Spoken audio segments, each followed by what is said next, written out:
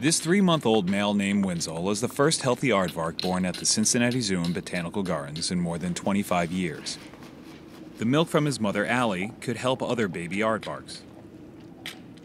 Well, every Friday now we collect aardvark milk for the uh, National Milk Repository at the Smithsonian Institute in Washington, D.C.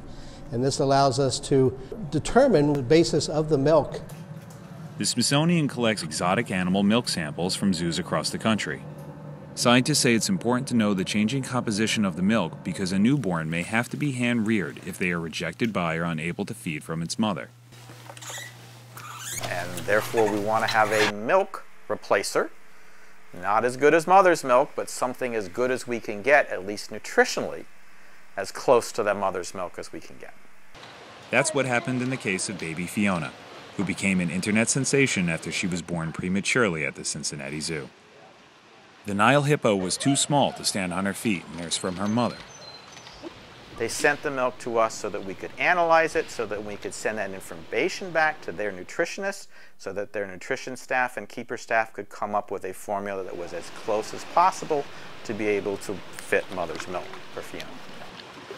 Now another zoo resident is paying it forward for the next baby in need.